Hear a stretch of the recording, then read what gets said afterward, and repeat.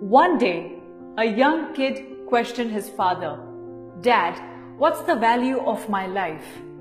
His father, instead of answering the question, gave him a rock and said, Go to the market and sell this rock.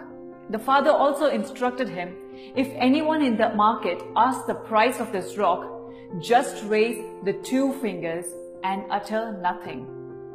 The boy then rushed to the market and there he found a woman who was willing to buy that rock. She asked him the price. This rock looks precious. How much does it cost? I'll put it in my backyard garden. As instructed by the father, the boy didn't say a word and just raised two fingers. The woman said, Two dollars? I'll definitely buy it.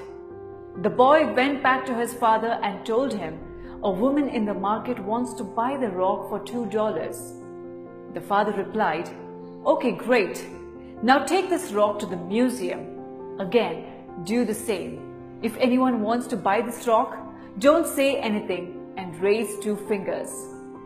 The boy went to the museum and there he found a man who was interested in buying the rock.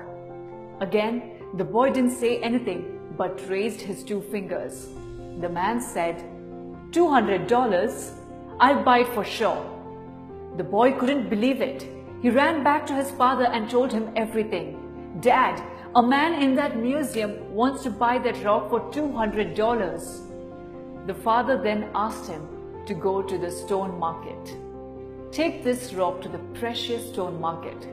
Show this rock to the owner and if he wants to buy it, don't say anything but raise two fingers again. The boy rushed to the stone market and showed that rock to the owner. Kid, where did you get this rock from? It's one of the rarest rock. I want to buy it. How much does it cost? The boy, as instructed by his father, didn't utter a word but put up his two fingers. The owner said, I'm ready to buy this rock for $200,000. The boy didn't know what to reply back so he ran back to his father and said, Dad, you won't believe this, but the owner wants to buy this rock for $200,000. The father smiled and replied, Have you understood the value of your life now? Your value matters where you decide to put yourself. Your value depends on the people you surround with, how you choose to put yourself among them. You might live your whole life thinking you were just a $2 rock. But with right people around you, you can grow and make your value to $200,000. Everyone is a diamond. All we need is to polish ourselves and be with the people who understand your value.